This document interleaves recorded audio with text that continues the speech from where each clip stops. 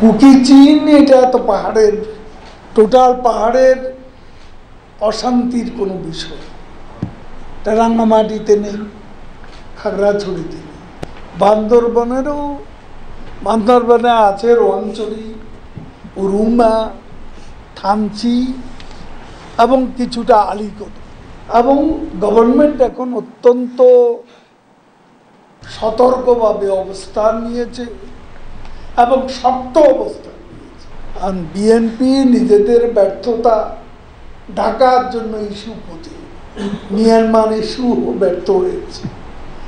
এখন নতুন করে আবার কুকি চীন ইস্যু তো এটা এসব সশস্ত্র তৎপরতা বিচ্ছিন্ন ঘটনা।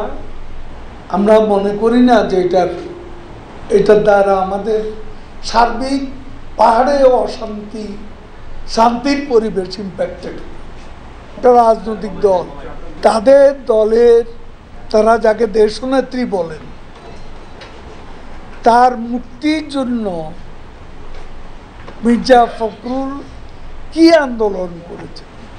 পাঁচশো লোকও বেগম জিয়ার জন্য রাস্তা একটা মিছিল করতে পারেনি। বছরের পর বছর।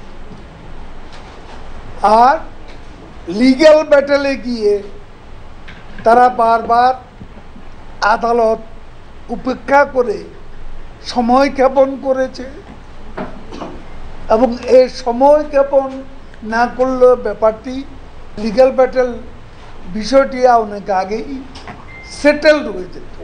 এমপি সাহেবরা বা মন্ত্রী মহোদয়রা, তারা কোথাও কোনো প্রভাব বিস্তার করবে না।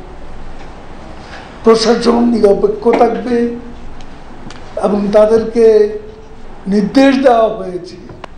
কোনো অবস্থাতেই নির্বাচন প্রভাবিত করার কেউ যেন কোনো চেষ্টা করলে সেটা সফল না। এটা প্রশাসনকে বলা হয়েছে, নির্দেশ দেওয়া হয়েছে।